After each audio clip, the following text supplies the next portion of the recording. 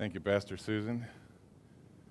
So here we are in Lent, and uh, part of our, our Lenten series is around the theme um, becoming nothing. And uh, really, I think the more that we begin to understand uh, our poverty before our faithful Father, uh, we want to move more into that place. I remember in a, in a Bible study, a men's Bible study I was leading, uh, Jerry Bridges' Pursuit of Holiness one of the things we learned is that the more I know of my sin, the more I need to know of his faithfulness. Amen? And the more I know of his faithfulness, the more I know of my sin, and they go hand in hand. So be- becoming nothing is part of living into um, the wholeness, holiness, and faithfulness of our everlasting Abba Father. And so this has been a wonderful Lenten season this year. Um, absolutely horrible when I look in the mirror and I see who I really am, and absolutely wonderful because every time I look in the mirror, I look more like my Savior. That's what I want. That's what I want for you too, to be made more in the likeness of Christ. That's our theme for this morning. In fact, uh, Luke 22, beginning at verse 24, I think the address will be on the screen. Luke 22, 24. And um, that's where I want you to be. So if you have a paper Bible, open it there. Matthew, Mark, Luke, third book, New Testament. If you're following online or you have a digital device, uh, just open your scripture, and there will be a couple of places where you might want to underline or take notes um, or even highlight and circle. Um, we're going to enter a story that, in the middle of which, there's going to be a collision. And I'll let you know right before it happens um, a collision of the faithfulness and character of Christ that bumps up against his disciples.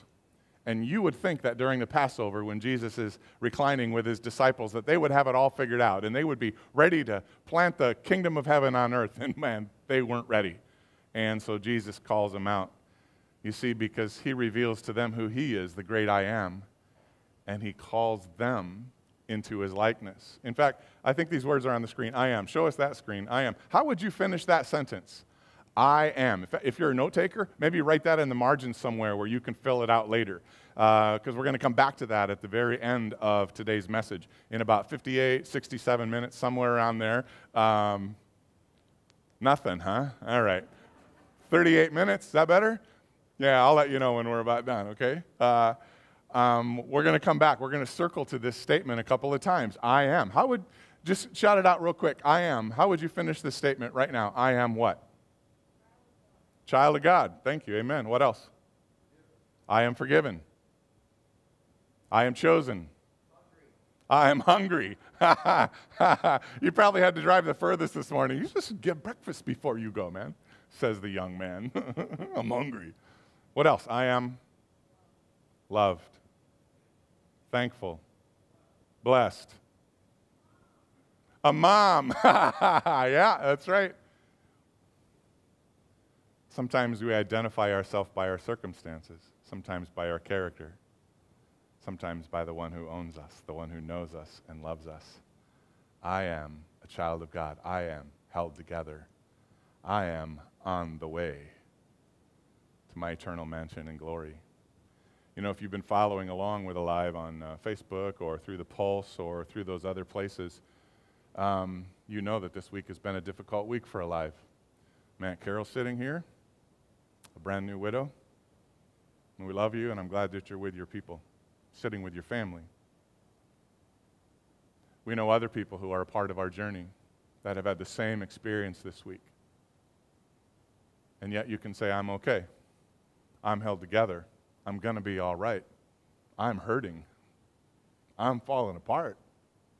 Like dropping some fine china on the kitchen floor, it just shatters. It goes under the appliances and it takes a while to clean up. I am. I am a child of God. So think about it. Keep that open until the end. Maybe whatever you're thinking right now about who you are might be a little different in just a few minutes.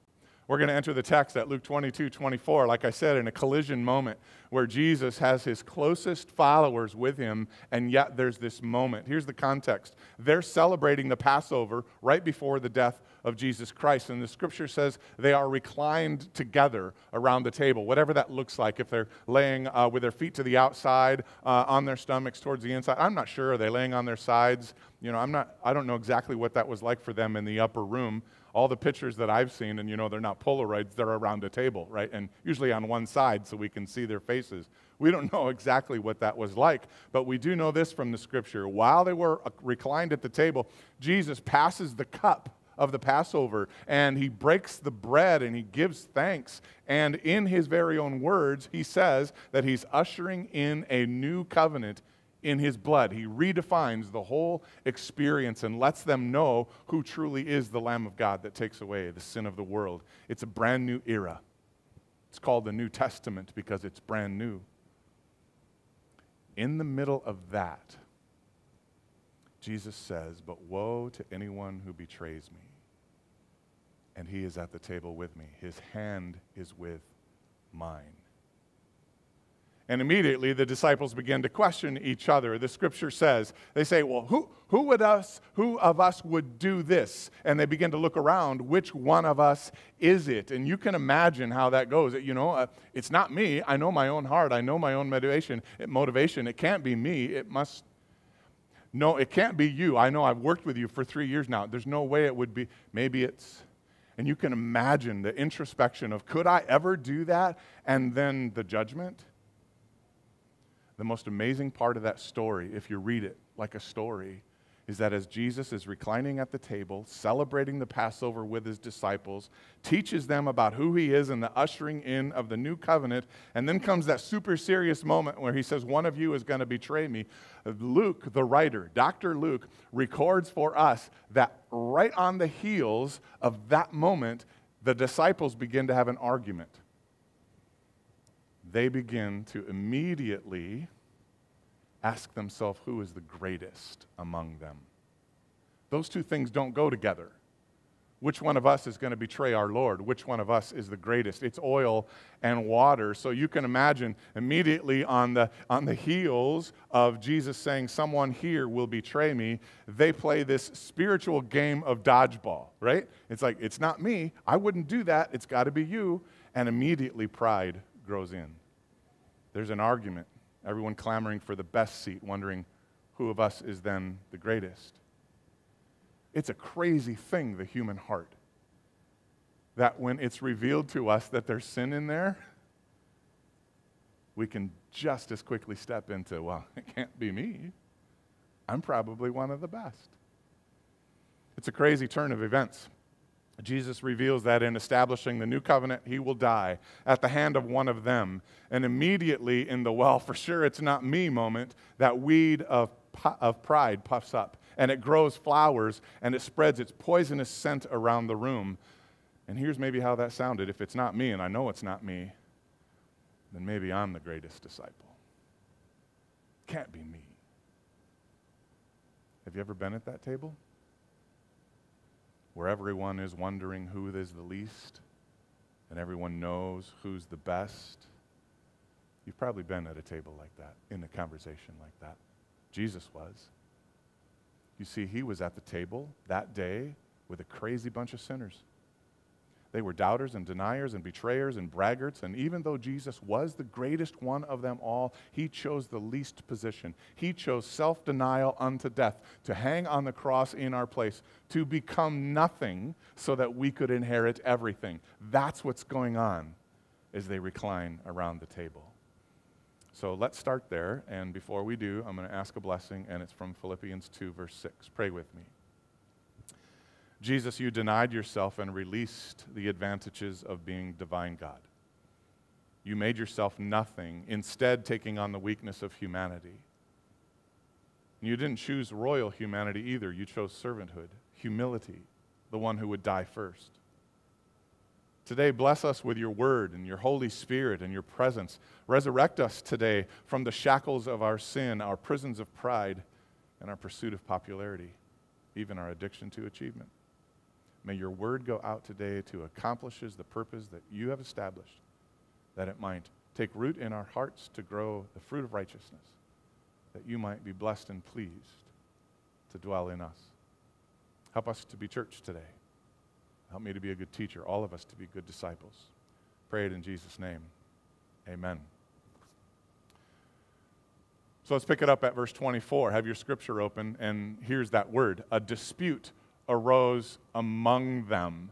Um, it's a simple word. We know dispute, it means strife or contention. Um, but it's also an emotional word. This word is used when people love the dispute. Kind of like being in an argument once in a while. Maybe I'm a little like them. Maybe you are. I mean, we can hate conflict. I don't enjoy conflict. But somehow we can easily get caught up in those disputes. And somehow there's some strange satisfaction that comes out of that. And our, our, our blood pressure goes up a little bit, and our anger flares, and uh, we get political and religious and, and moral, and there's contention. And somehow, like the disciples, we put our thumbs behind our suspenders and we feel bigger and better. And maybe I'm wrong. Maybe I'm, maybe I'm the only one. Maybe this message is just for me alone. Maybe. But listen, I think we're just like the disciples at the table with Jesus. And the constant disputes to be right, to be smarter, to be less afraid, to be more faithful, these are exhausting. The scripture says, A dispute arose among them as to which one of them was considered to be the greatest. It means large and wide, is what it means. Uh, you can imagine how that looks. Hey, I was the first disciple. You guys, get in line.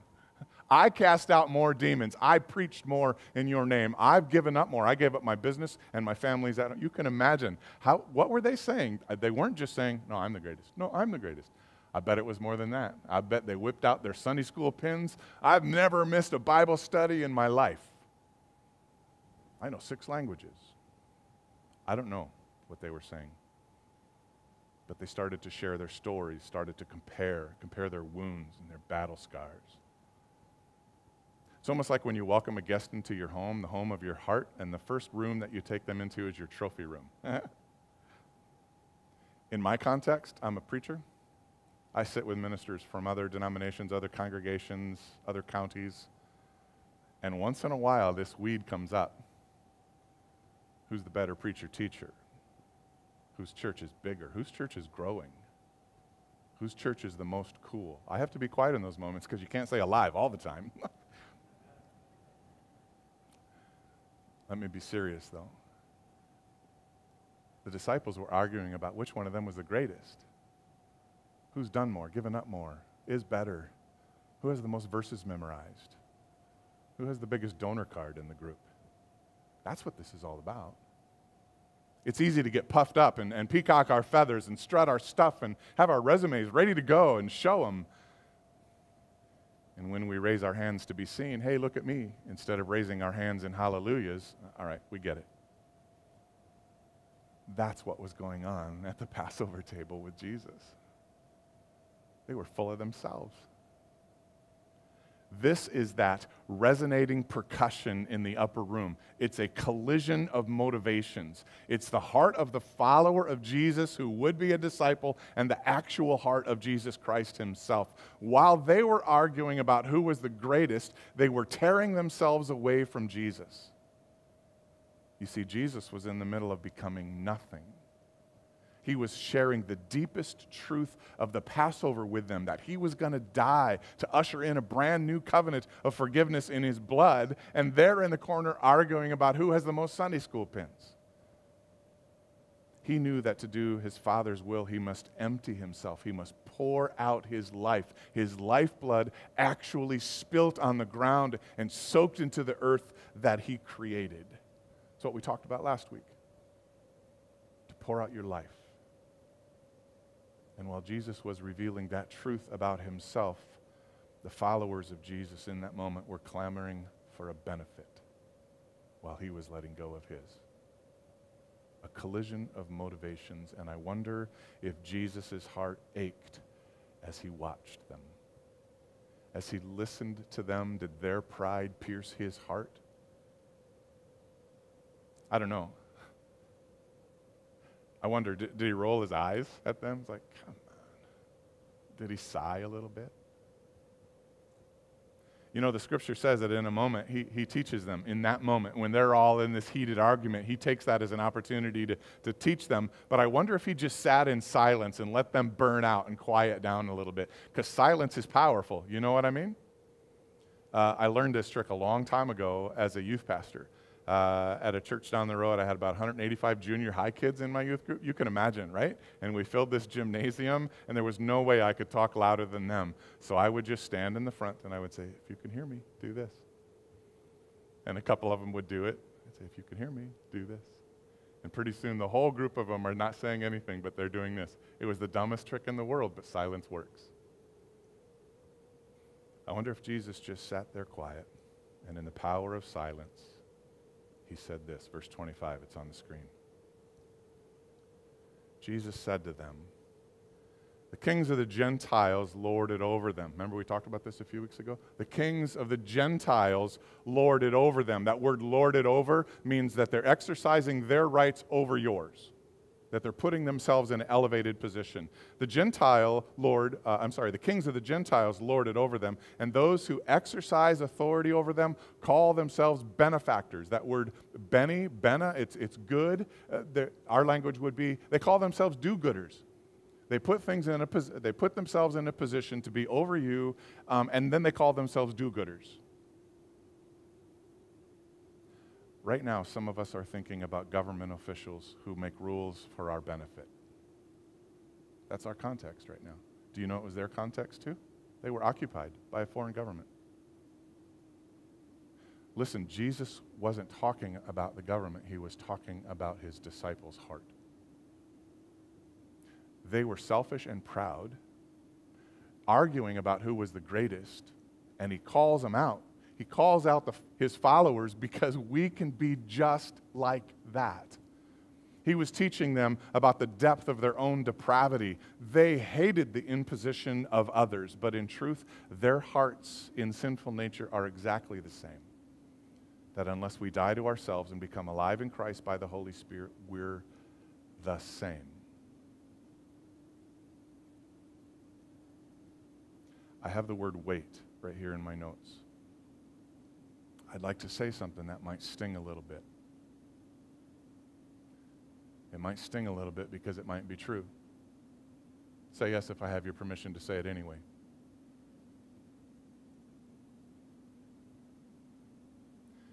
I think the church today is a little bit like the disciples around the table. And we're arguing about who's the greatest, and we kind of enjoy it a little bit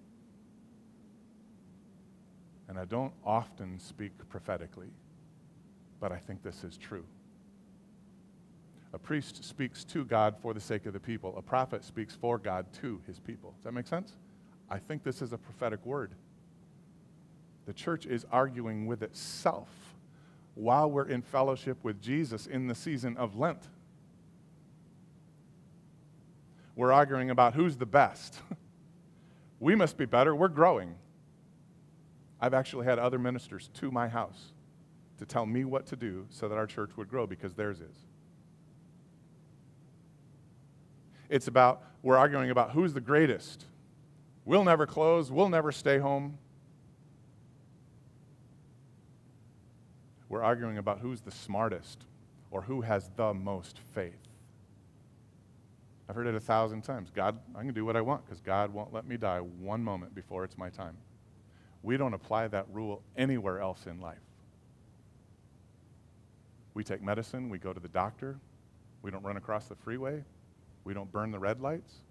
This is the temptation of Matthew 4 when the devil took Jesus, our Lord, to the pinnacle of the temple and said, Just do it, just jump down. He'll send you angels. And you know what Jesus said? Thou shalt not test the Lord thy God. So if I'm wrong, we have a dozen elders, half a dozen elders. They'll take care of me tomorrow, but I think it's a prophetic word. Who's the best? Who's the greatest? Who's the smartest? Who has the most faith? I don't know what the disciples with Jesus were arguing about. Were they arguing about government, about Caesar? In those days, Caesar was God. I mean, they made him divine. I would never do what Caesar says. He's just some foreign government official. He's a doofus. Why would I? Is that were they arguing about if any of them were sheeple? Yesterday, I invited someone to join us for church today. You want to know their first question? Yes. Do you wear a mask at your church? So we do. We all do. Well, then I ain't coming. You're nothing but a puppet. Bunch of sheeple. For reals. Quiet in here, huh? Sorry, it's Lent. Maybe they're arguing about the cross. I mean, they would kill people on the cross. Jesus wasn't the only one. Do you know that Jesus surrendered his life to a foreign government to be hung by their officials on their cross? He let it happen. And when Peter tried to stop him, what did he say to Peter? Get behind me, Satan. I was saving this for my last Sunday at Alive. I hope it's not. It might be. I actually asked some people for permission to say that because I don't know if I should. Because I hate conflict, but I'm not afraid of it. I don't know what the disciples were arguing about. I don't know if it was Caesar or crosses or which one what did the most or are, if they're a sheeple or a puppet.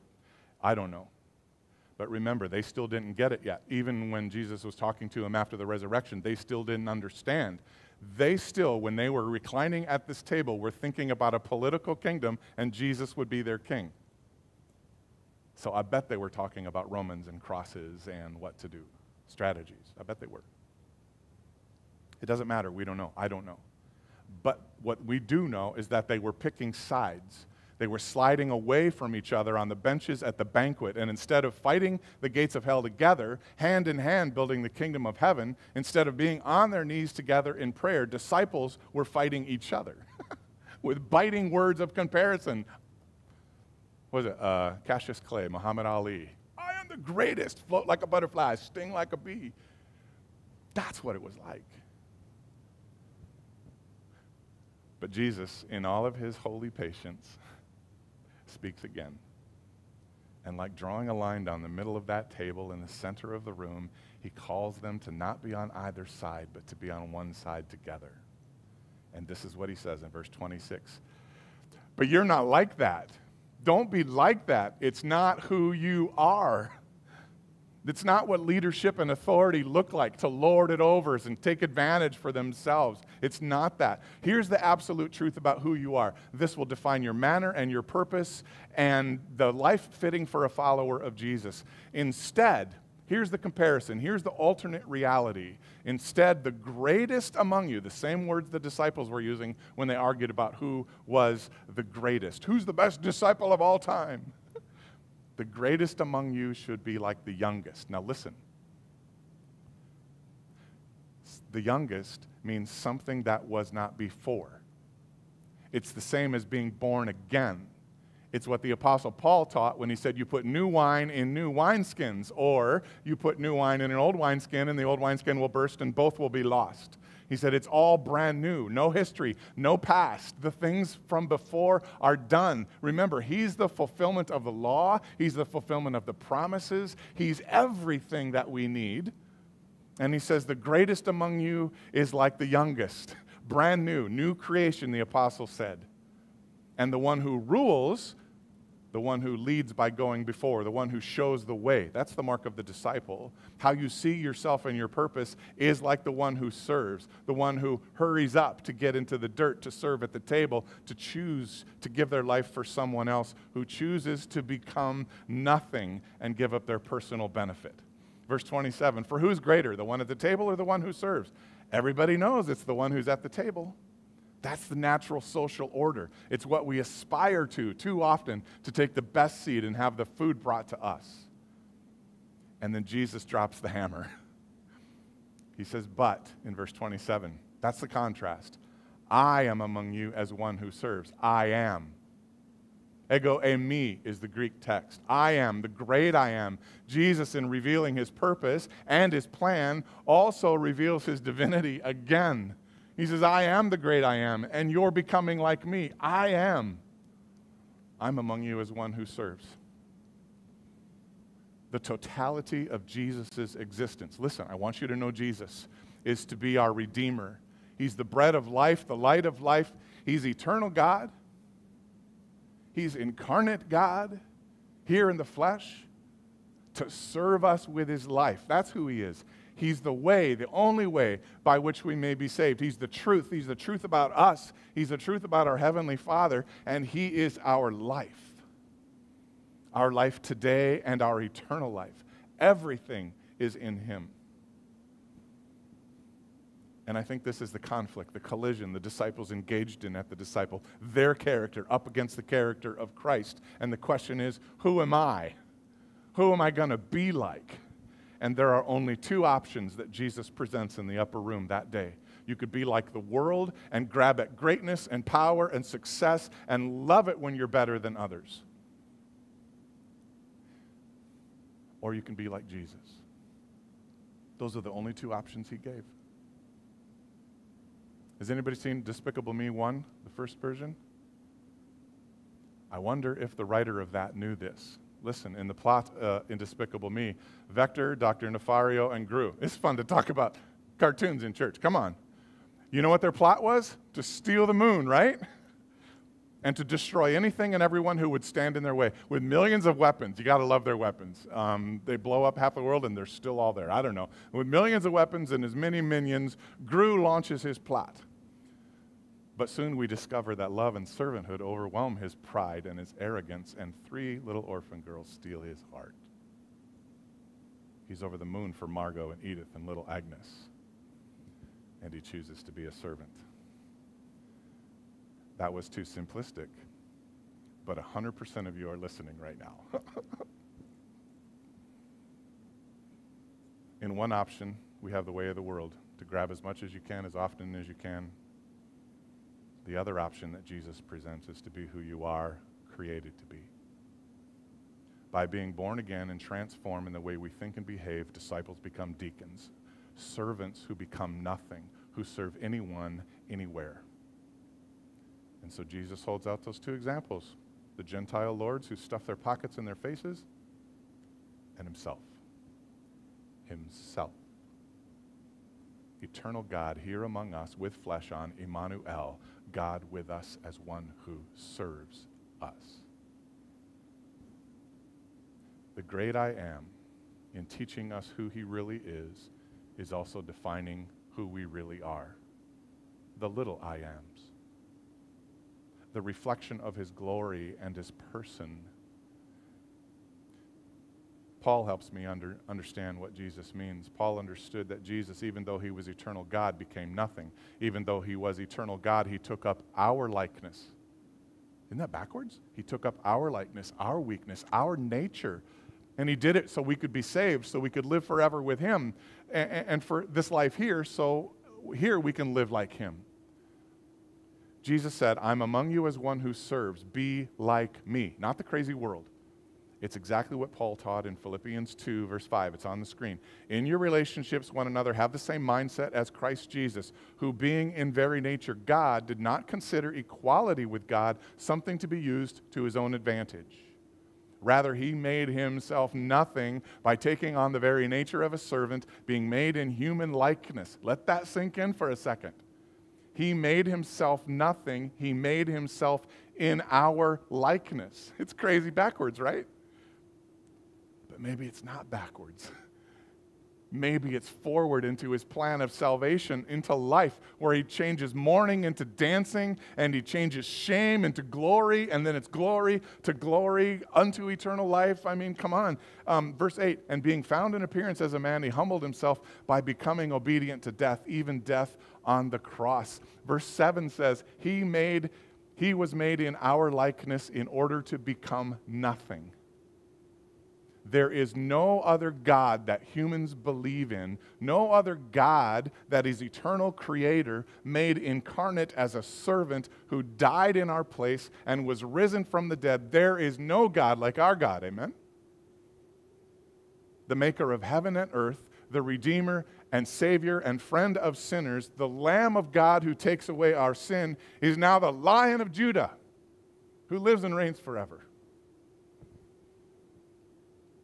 He was made in our likeness. John 1:14 the eternal son the word of God in the flesh who made his dwelling among us here taking up all of our infirmities, suffering in our weakness and in our temptation, knowing poverty and reproach and hatred. He came here to reconcile his creation to himself, taking us from the poverty of our sin. He redeems and restores and resurrects us unto eternal life. And he did it all by taking up our nature. One person, two natures, truly God, fully divine, and truly man, exactly like us, except for sin. It wasn't just some superhero costume. He came here and actually took on our flesh.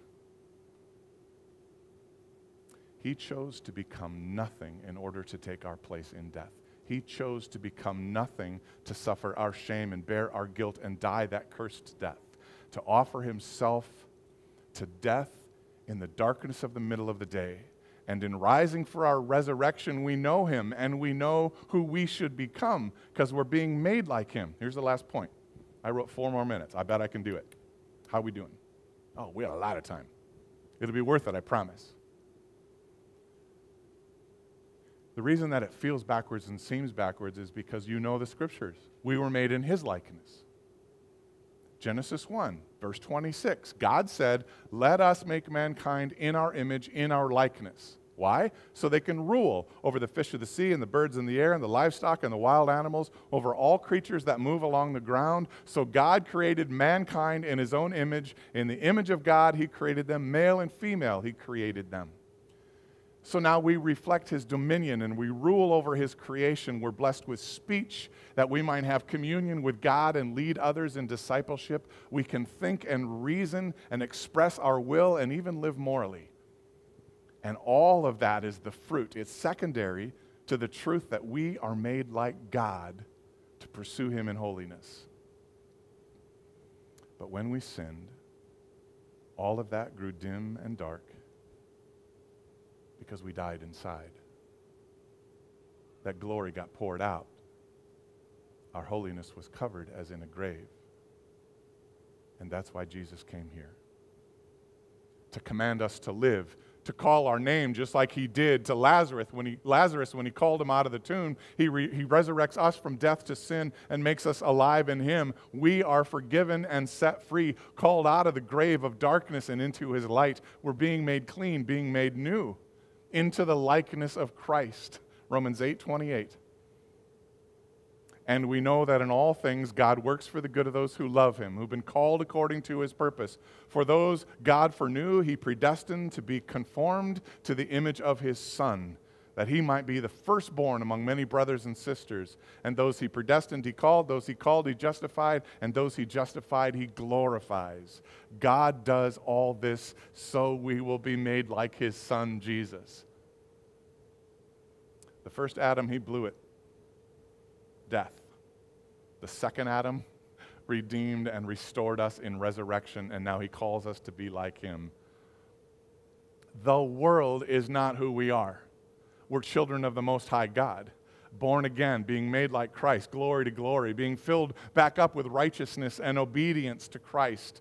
What Jesus taught in the upper room that day is not about glory now. It's not about position and power and prestige. It's about being a servant like him becoming nothing. This Lent, when you finish the sentence, I am, how will you finish it? Jesus finished that teaching in the upper room by saying this You are those who stood by me in my trials. He affirmed them. And now I confer on you a kingdom, just as my Father conferred on me. He gave them a commission. Why? So that you can eat and drink at my table in my kingdom and sit on thrones judging the 12 tribes of Israel. But that glory comes through service. Maybe my sentence, I am, will be I'm a child of the king, or I'm looking a little more like my older brother Jesus. I'm a servant of all, I'm becoming nothing.